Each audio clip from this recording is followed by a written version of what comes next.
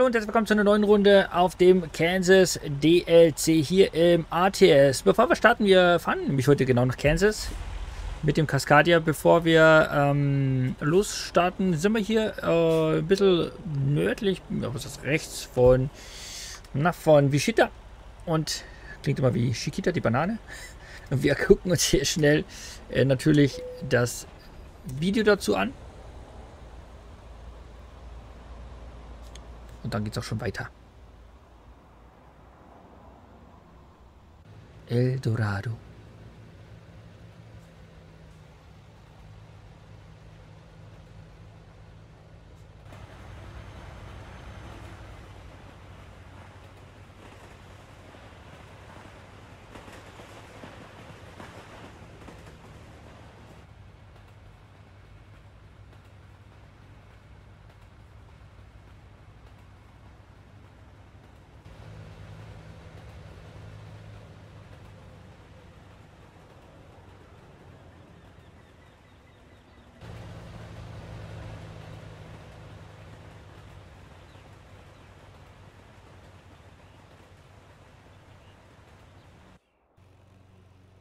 So, toll. Also das Eldorado in Eldorado. Wir fahren jetzt hier mal weiter. Äh, übrigens auf der 54er. Oh, guck mal hier, lecker. Da kriegst du Hunger hier. Gibt's ja nichts zum Schnabulieren.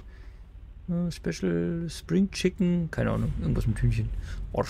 Äh, wir fahren jetzt natürlich weiter ähm, nach Kansas. Wir haben geladen übrigens Ölrohrleitungen. 18 Tonnen. Die wir natürlich jetzt wegschüsseln. Aber wir fahren jetzt über die 54er. Warum? Weil da nämlich jetzt gleich nochmal was kommt, worauf ich jetzt da voll Bock drauf habe. Nämlich, äh, da kommt nämlich nochmal so eine äh, Filmsequenz. Und so eine Filmsequenz nehme ich natürlich immer gerne mit. Da kriegt man so Eindrücke. Ja, beruhig dich, Kapitän. Gut. Ein Geblubber hier, ne? Aber ich fahre mal noch ein Stück auf. Moment. bin ich jetzt draufgefahren? Ich hoffe nicht. Ne, bin ich nicht. Gut. Ich hätte schon gedacht, ich bin draufgefahren. Jetzt aber. Freie Bahn mit Marzipan. Ab geht's. Ah, schön. Ja, guck mal hier, wie sie alle demonstrieren und protestieren und was auch immer die hier machen. Schön, schön, schön, schön. Tankstelle, die ist nicht frei. Aber egal. So, wir sind nach wie vor ohne Mods unterwegs. Ganz wichtig, ich darf ja keine Mods verwenden. Das ist, glaube ich, klar. Oh, da war wieder eine Bodenwelle drin. Das ist ja das hier im ATS, was wir im ETS 2 nicht oder noch nicht haben. In der äh, Stadt diese Gullideckel und alles, was so dazu kommt. Ähm, oder diese Schlaglöcher, die haben wir ja im ETS 2 nicht. Da haben wir ja einfach generell diese ähm, Physik in den Reifen. Es ist ja nicht die Straßen, sondern es sind die Reifen. Wenn du schnell du fährst, da hast du ja dann... Hier, da war es wieder eine. Dass der ganze LKW so ein bisschen sich so mitbewegt. Das ist ja hier auch mit dabei, aber on top hier natürlich noch die ganzen Gullideckel, ne? So als Random Event. Genau. Und wir schüsseln jetzt hier auf alle Fälle mal weiter. Ich hoffe, das kommt im ETS auch noch. Sind auf alle Fälle ein bisschen ländlich unterwegs. Jetzt kommt aber hier unten gleich nochmal, äh, haben wir die Möglichkeit, uns nochmal ein Video anzuschauen. Das nehme ich immer gerne mit. Weil oftmals ist es so, du fährst ähm, hier einfach so stur weg, ne? Und dann kriegst du gar nicht mit. Oder man fährt an etwas vorbei, was man gar nicht so auf dem Schirm hatte. Und deshalb finde ich es immer gar nicht so schlecht, wenn das solche äh, Symbole sind, einfach mal mitnehmen. Und dann übersieht man auch nichts, vor allem die guten, feinen Sachen hier. Die, was die Gegend halt ausmachen. Auch die Hidden Roads dürfen wir nicht vergessen. Eine haben wir ja schon gefunden. Muss mal gucken, was, äh, ja, was da noch so kommt. Müssen wir mal ein bisschen gucken hier. Uh, Alter, das wird fast vorbeigrammelt. Alter Verwalter. Das ist aber auch hier versteckt, hier mitten. Echt? Ja, das muss ich mit der Flagge machen, ja, sonst geht es nämlich in die Hose. Jetzt schauen wir uns erstmal das Video an hier. Butler Country Line.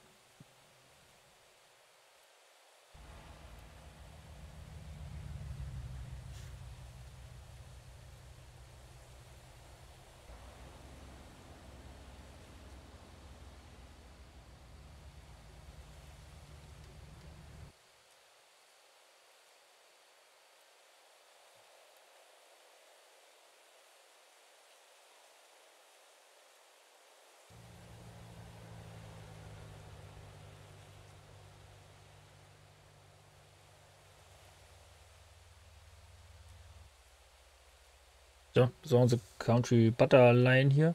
Wir fahren jetzt aber hier wieder raus. Ich stelle mich jetzt gleich hier mal auf die Straße. Hinten kommt nichts. Ein bisschen schummeln hier.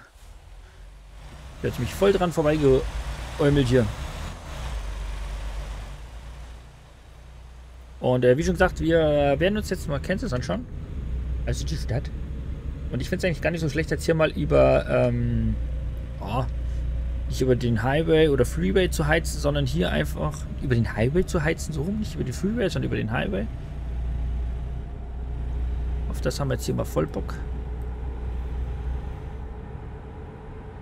Schauen, was wir hier alles noch sehen. Ne? Oh, guck mal hier, ein Flieger. FC Hotti. Was haben wir da noch? Was macht der? Einfach fliegen, ne? Es gibt da die Flugzeuge, die dann ähm, hier so das ganze Zeug versprüht. Diese, sagt man da hier? Dieses Unkrautvernichter-Gedöns und so, ne? Das sind ja solche Flieger hier. Aber der fliegt bloß äh, just for fun, meine ich.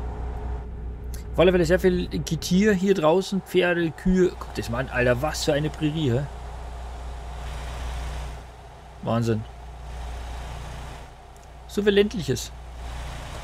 Ist ja fast so wie im hohen Norden bei uns. Oder? Ja, ne? Hohen Norden? Ja, ja, Viertelstreifen. Viertelstreifen in der Mitte. Ich werde auf alle Fälle, ich muss jetzt, nicht ja noch nicht, ich muss immer aufpassen, äh, dass wir diese Hidden Roads nicht vergessen, die wir nach und nach hier ähm, uns natürlich anschauen. Die hier überall versteckt sind wie gesagt, einer mal gefunden. Die war, also die war wirklich nicht einfach, weil ja da auch noch so ein Kamerasymbol mit drin war. Konnte man gar nicht so erahnen, dass da was ist. Aber gut gemacht. Jetzt kommt gleich die Kreuzung und da kommt anscheinend nochmal ein Parkplatz, Rastplatz, whatever was ist. Muss gleich mal schauen. Hier zum Beispiel ist auch offen. Habt ihr gesehen hier? So, jetzt 55. Ein bisschen runterbremsen das Ganze hier.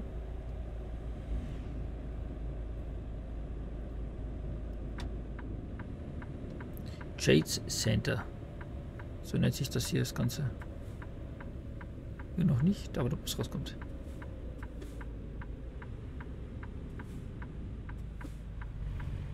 Hui, und einmal rum hier.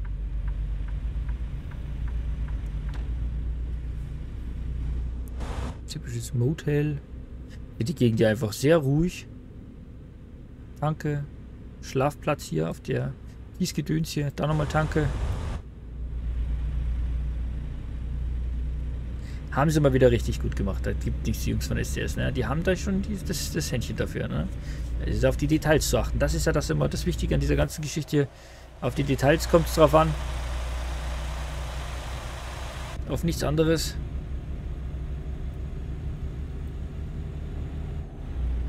Das ist immer so ein bisschen das Wichtige, finde ich.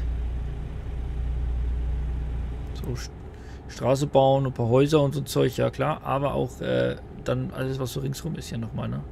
Jetzt kommt jetzt mal eine Baustelle, wie zum Beispiel hier. Kommst du echt vorwärts, wenn du im Hohendorn bist. Hier jetzt ganze Waldwiesen, da hinten kommen wir die, äh, die Windräder hier. Da haben wir da mal einen Traktor. Wir befinden uns gerade in Schleswig-Holstein. Ne, in, in, in MacPom. Ne, MacPom.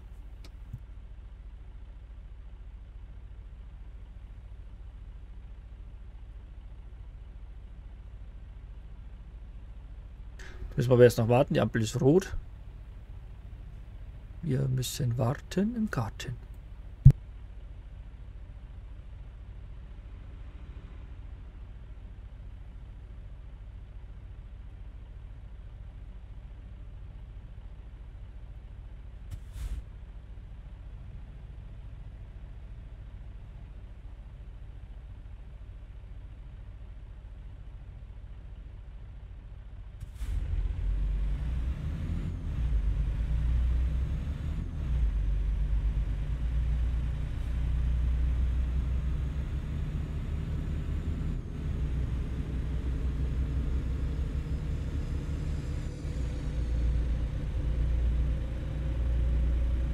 So, dann geht's weiter hier. Was haben wir hier?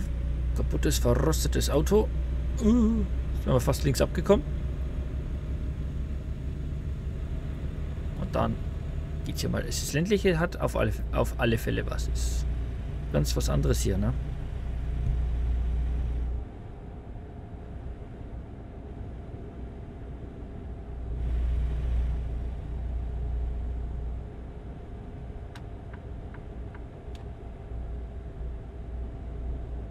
Was winkt der so? Der winkt, der Polizist. Warum werden wir nie herausfinden? Wir winken mal zurück. Freut er sich bestimmt. Sonst kommen wir da vorne gleich wieder in irgendeine Ortschaft. Müssen wir mal gucken. Sieht fast nach... Könnte auch ein riesengroßer Rastplatz sein. Mit Werkstatt, Tankstelle, Schlafen, alles was dazugehört. Wir gucken jetzt einfach mal.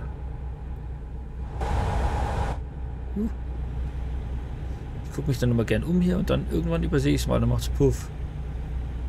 Jetzt schauen wir mal, was jetzt hier kommt. Das ist jetzt auch nochmal richtig groß hier. Da müssen wir nämlich rechts weg. Aber das scheint danach nach dem Rastplatz aus. Ein ganz großer hier, ne? Siehst du, ich mal andere Kameraperspektive machen hier. Wir gucken, ja, ganz groß. Also das haben sie hier wirklich drauf bei die Amis, ne? Da gibt's Eis, Burger, anderes Gedöns, Waage, Tankstelle, XXL, Burger essen und dann, uh, und dann geht's hier rechts jetzt rauf. Richtung Autobahn oder Highway. Freeway, so, Freeway. So, und drauf hier. Jetzt mal erstmal hier mit Vollgas, ne? Vollgas.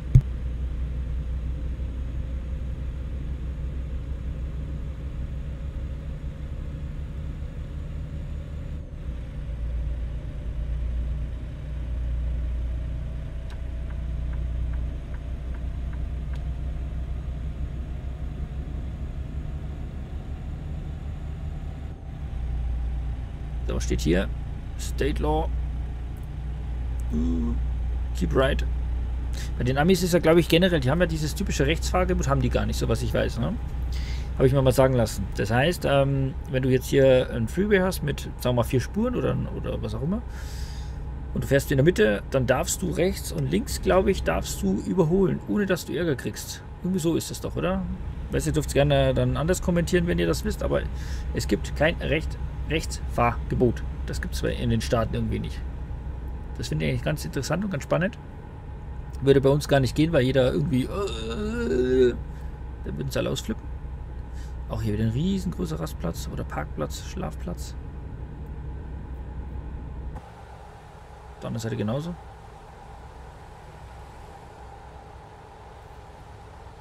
Schaut schon gut aus hier.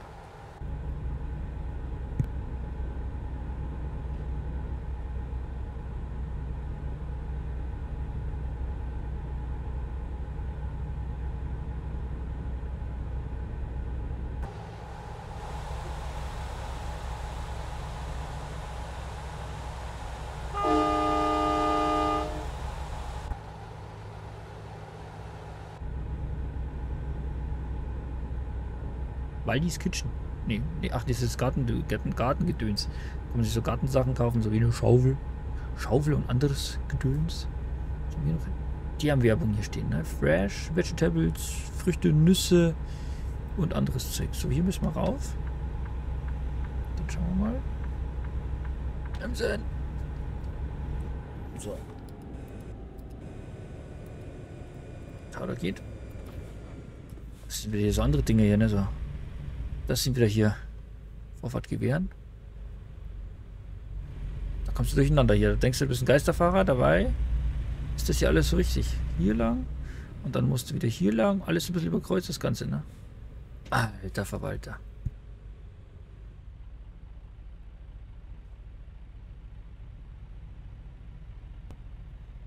Dort sind wir gleich da. Da sieht man schon. Das sind immer Kreuzungen hier, ne? Da kommt man sich ein bisschen Achso, Retard habe ich noch. Wieso das denn?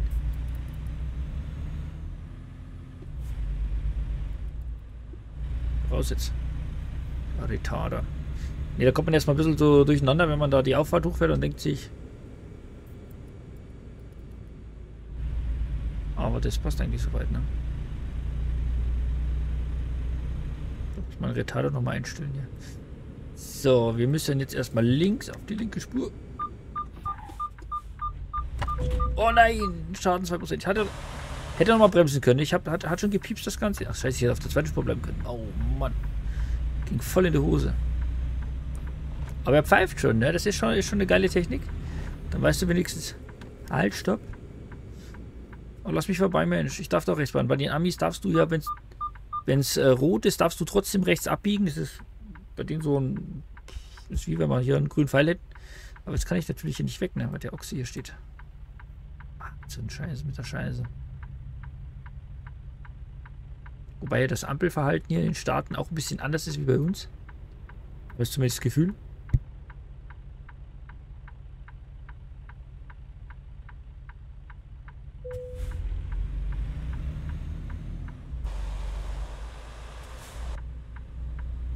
So, jetzt schauen wir mal hier rein. Jetzt schauen wir mal, wo wir hin müssen jetzt hier. Ist grün. Grün heißt Freifahrt. Wir müssen jetzt hier rein überhaupt. Oh, hier muss rein. Slow, langsam fahren. Langsam fahren, schön langsam fahren. Ich weiß gar nicht, ich kenne das gar nicht hier. Was ist denn das jetzt hier? Ach, das ist bloß immer so ein Ding, ne? 10 km/h. Schön langsam durchfahren. Viel habe ich nicht dabei in meinen Rohrleitungen hier.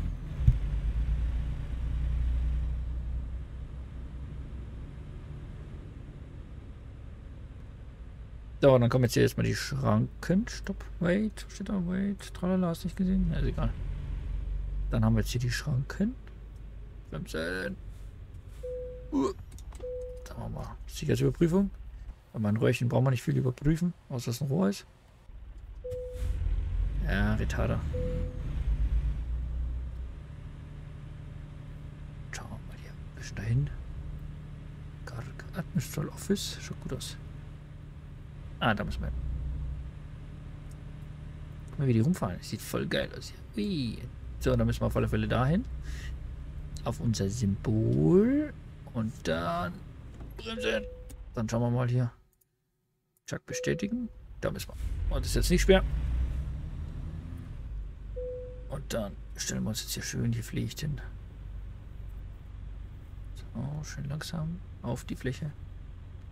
Und dann haben wir es eigentlich schon, schon geschafft, meine Damen und Herren. Also wieder weitere Runde hier im ähm, Matthias, nämlich in Kansas. Jetzt äh, laden wir schnell ab und dann gucken wir uns natürlich noch Kansas an. Das ist ja natürlich jetzt hier ganz wichtig, dass wir uns das noch anschauen.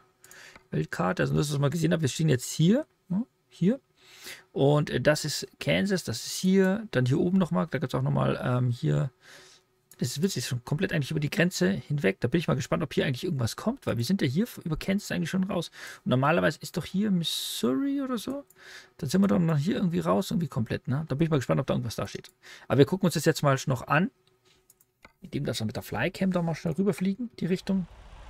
Nur, dass wir es mal gesehen haben. Aber das sieht hier ganz schnieke aus. So, also wir fliegen mal hier rüber. Einmal querfeld ein. So, einmal da lang. Das ist die 635er. Highway, Freeway, Interstate, wie auch immer. Das haben wir immer noch nicht so ganz geklärt. So eine coole Definitionsfrage hier. Dann schauen wir uns das mal an hier. Also riesengroßer ähm, oh, äh, Zuchtdingsbums hier, sagt man da hier so. Na, ihr wisst, was ich meine. Dann haben wir da Tanke. Das ist wieder eine Abfahrt, wo einfach eine Tankstelle ist. Ne? Rechts und auf der anderen Seite genauso. Also an Parkplätzen mangelt es hier nicht. Hier hinten haben wir noch die Möglichkeit, hier noch Ware abzuholen bei Johnson Smith. Gibt es ja schon länger.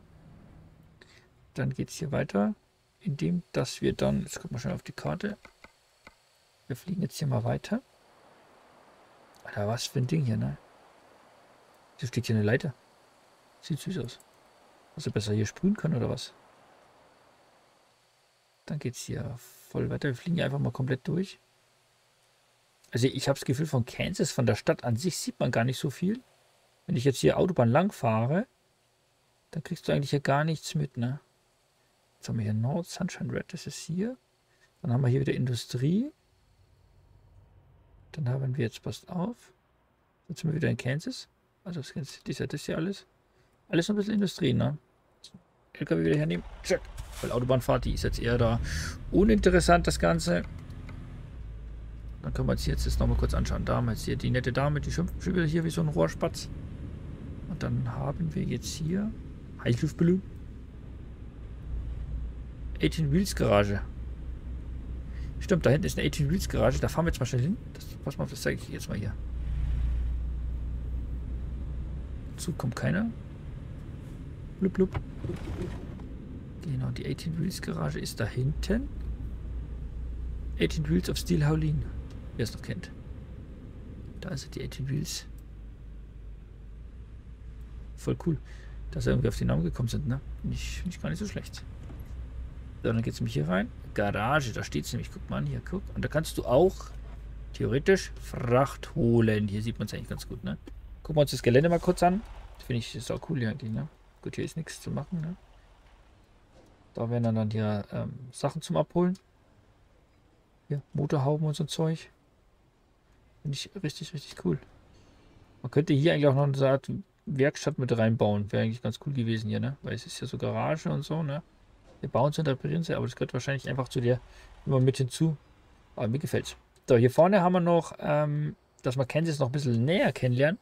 Haben wir hier natürlich dann nochmal ein Video dazu.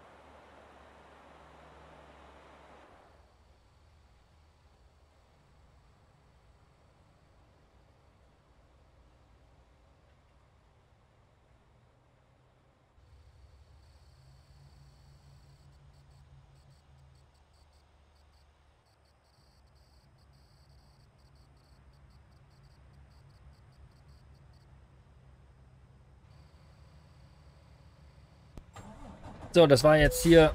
Oh, Kamera wieder an.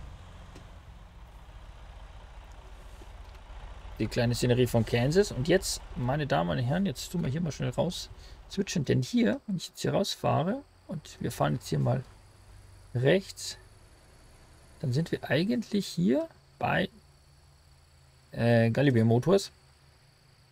Und eigentlich ist das ja nicht mehr Kansas hier. Da sind wir eigentlich schon drüber, ne? Das ist ja eigentlich nicht mehr Kansas, das Ganze. Finde ich ganz interessant. Steht aber natürlich nirgendwo da. Müssen wir lang. Liegen wir jetzt mal kurz mit der Flycam, nur dass ihr es mal gesehen habt, wie es hier hinten noch aussieht, was sie hier noch gebaut haben. Ich weiß gar nicht, was hier draußen überhaupt für ein großes Unternehmen ist, aber wenn man sich von oben anguckt, ist es schon riesen, riesengroß. Jetzt sieht man es natürlich nicht so gut, ne, aufgrund, weil der STS das jetzt hier nicht weiter gebaut hat, zumindest von oben her, aber es ist ein großes Gelände. Dann habt ihr hier einmal die ganzen Autos. Da hinten könnt ihr dementsprechend hier eure Trailer abholen. Und auf der anderen Seite hier drüben dann ganz genauso hier noch. Kann man sich das auch nochmal abholen. Das sieht dann so aus. Da stehen auch die ganzen fertigen Autos hier, die man dann abholen kann. Hier stehen sie auch nochmal. Ist da vielleicht, ist, ich weiß nicht, was ist in Kansas denn für ein Autofirma? Das sieht aus wie Cadillac oder so. Das sind ja die Autos, äh, die, die Zugtransporter, wo die Autos verladen werden. Das kenne ich. So was kenne ich, habe ich auf Bund schon gesehen. Aber sieht auf alle Fälle ganz fresh aus. Jetzt, bevor wir jetzt hier mal kurz weitergehen, wir haben jetzt hier noch ganz kurz die Autobahn runter und die Straße Richtung Süden. Gibt es jetzt gleich nochmal die Möglichkeit, die Möglichkeit hier runter zu fahren. Hier haben wir wieder Flavor Fair, das ist auch so ein riesen Ding, ey. Und dann haben wir nämlich da noch, das möchte ich mir noch kurz anschauen. Da wollte ich euch das mal zeigen. Das finde ich auch so richtig cool hier. Dass ihr dann richtig mit Warnleuchten habt und so. Das sieht auch geil aus. Gefällt mir. Und wir wollen jetzt mal ganz kurz, weil hier haben wir die Skyline von Kansas. Das fahren wir noch ganz schnell lang und nehmen uns diese Eindrücke natürlich hier noch mit. Weil da kann man sogar hier sich, äh, da kann man sogar Fotos machen. Ja dieses Fotosymbol.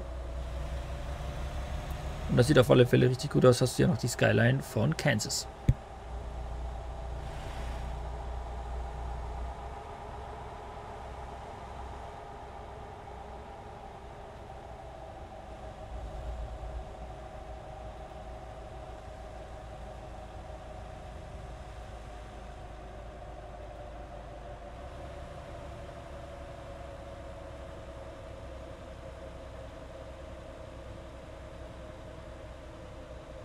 So, jetzt kommt hier eigentlich dieses ähm, Symbol zum Foto machen. Ich weiß gar nicht, ob das hier unten dazu gehört oder hier oben. Ich weiß gar nicht, wer hier wird zumindest das Fotosymbol. Ich weiß gar nicht, wozu das dazu gehört dann hier. Mal, ach, das ist bestimmt hier drüben. Sieht ja aus wie in Australien hier, dieses komische Kuppelding da. Ach, hier bestimmt, ne? Hier kannst du bestimmt so ein Foto machen, oder? Mach mal, ich probier mal. Schön Shot aufgenommen. Ah, sieht echt geil aus. Also das ist schon mal, also das Kansas ist ja schon mal echt ein Highlight. Wenn du hier äh, entlang dümpelst mit deinem Nobelhobel, sieht es richtig cool aus. Vor allem, wenn du von der Seite kommst, sieht es nochmal einen Ticken besser aus, weil du hier ein bisschen höher fährst. Dann hast du hier die komplette Skyline von äh, Kansas. Richtig geil gemacht hier, ne? Auch dieses Gebäude hier, ich habe keine Ahnung, was das sein soll. Kenne mich da nicht aus, aber sieht cool aus. Sieht doch nichts da, ne? Mega, mega cool. Meine Damen und Herren, Kansas, ähm, richtig stark, richtig geiles DLC. Guckt sich an. Coole Sache, oder? Wenn ihr noch Fragen habt, dürft ihr das gerne machen. Einfach kommentieren. Wie immer, ansonsten Daumen da lassen, Abo für den Kanal nicht vergessen, die Glocke drücken. Und denkt dran, am 30. ist es dann soweit. Ne? Kansas DLC. In diesem Sinne, gute freie Fahrt, macht's gut, bis bald und adios.